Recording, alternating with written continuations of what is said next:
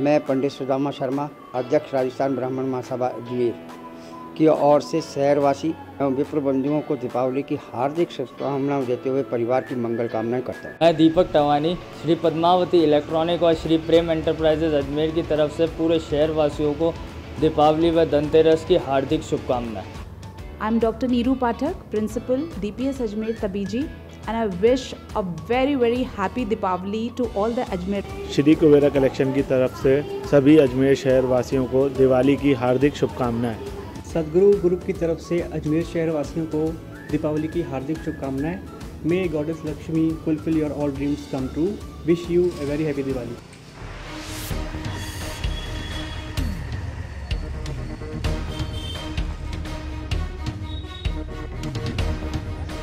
क्या घटना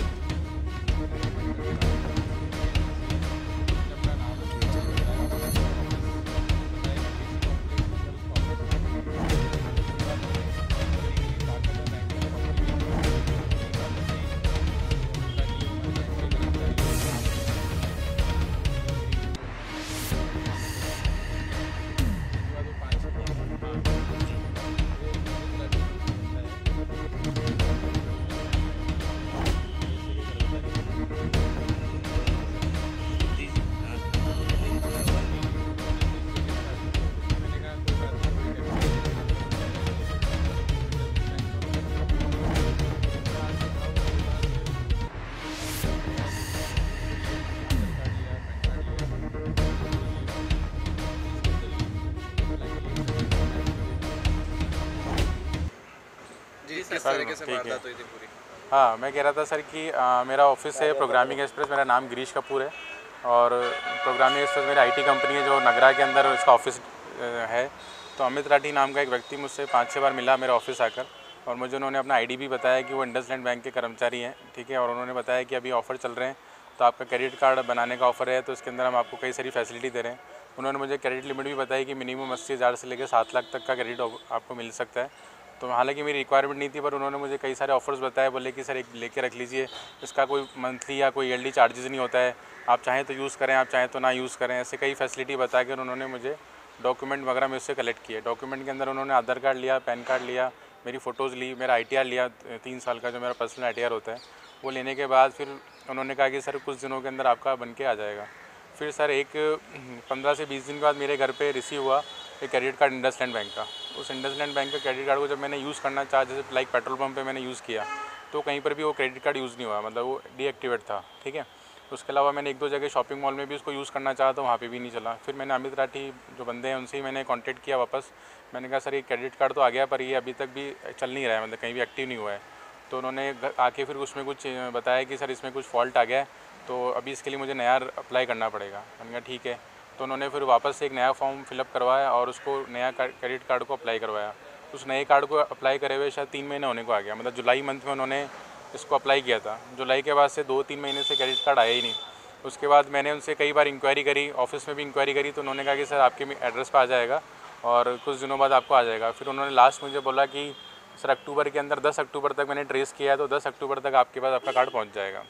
ठीक है सर ऐसा करके मेरे पास तीन महीने होने को आगे कोई कार्ड रिसीव नहीं हुआ। सेकंड जो फ़र्स्ट था वो तो डीएक्टिवेट हो गया वो तो ख़राब हो चुका था उसको तो हमने यूज़ ही नहीं किया। पर जो सेकंड कार्ड था वो मेरे पास रिसीव नहीं हुआ। उसके बाद चौदह पंद्रह अक्टूबर को फिर मैंने इनसे काफ़ी कोशिश करी बात करने की तो उन्होंने मुझे मैसेज रिप्लाई किया कि भाई फ़ोन तो नहीं उठाया मेरा पर उन्होंने कहा कि सर मैं आपके ऑफ़िस से आके एक बार आपको बता दूँगा कि एक्चुअल आपका पोजीशन क्या है स्टेटस क्या है और कितने दिन में आपको कार्ड मिल जाएगा। कितना अमाउंट निकला आपका? हाँ बताता हूँ सर वो। उसके बाद फिर क्या हुआ सर कि मुझे बिल्कुल आइडिया नहीं था कि ऐसा कुछ होने वाला है।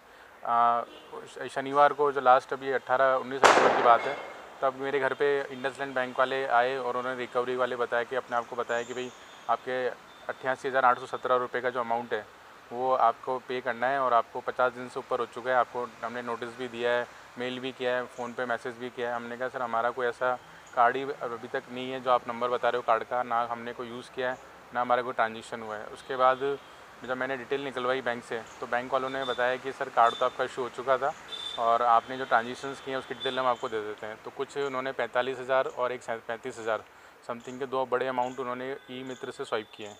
ये मुझे बैंक से जानकारी मिली, ठीक है? उसके बाद फिर जैसे ही मुझे पता चला कि ये मतलब ये व्यक्ति फ्रॉड है अच्छा इसका 18 अक्टूबर के न्यूज़ में भी आया था, तब मैंने उसकी जानकारी भी ली। और फिर मैंने अलोरगढ़ थाने के अंदर सबसे पहले एफ़ कराई इस चीज़ की। अमित राठी है? अमित राठी नाम का है जो अपने आप को जोधपुर का बताता था। सर अमित राठी के साथ बैंक भी मिली हुई लग सर बैंक का तो नहीं है पर इसमें जो डी है जिसको ये ऑथराइज देते हैं बैंक का इसमें रोल इसलिए है क्योंकि बैंक जो ऑथराइजेशन देता है वो देता है डी को जो डिस्ट्रीब्यूटरशिप होती है। अब इनकी जो डिस्ट्रीब्यूटरशिप है वो हमने पता किया तो वो जयपुर है। दिनांक 22 अक्टूबर को गिरीश कपूर ने एक रिपोर्ट पेश की थी कि उसके साथ में एक फ्रॉड हो गया है। उसने रिपोर्ट में ये बताया कि अमित राठी नाम का एक डीएसए उसके पास आया था कि वो इंडस बैंक का डीएसए है और क्रेडिट कार्ड बनवाता है और तो उस पर विश्वास में आके उसने सारे डॉक्यूमेंट दे दिए थे। तो उन्होंने उसके क्रेडिट कार्ड का फ्रॉड किया और अट्ठासी हज़ार रुपये की ऑनलाइन शॉपिंग या जगह जगह उसने ट्रांजेक्शन्स किए। जब बिल इनके पास में आया था तब जाके इनको पता लगा कि भाई मैंने कोई ट्रांजेक्शन नहीं किया अभी तक और अट्ठासी हज़ार रुपये का बिल कैसे आ गया। इस बाबत उनको जानकारी होते हुए थाने पे रिपोर्ट पेश की है। जिसका अनुसंधान हम कर रहे हैं। अमित राठी के खिलाफ पहले भी दो मुकदमे दर्ज हो चुके हैं। ऐसे ही फ्रॉड डॉक्यूमेंट क्रिएट करके उसने क्रेडिट कार्ड बनाए और उनके साथ में, दो कस्टमर के साथ में उसने एक के साथ में एक लाख पिचहत्तर हज़ार के और एक के साथ में भी हज़ारों रुपये की ठगी की है। इसके साथ साथ इसके क्लॉक टावर और कोतवाली थाने में भी काफ़ी मुकदमे दर्ज हुए हैं।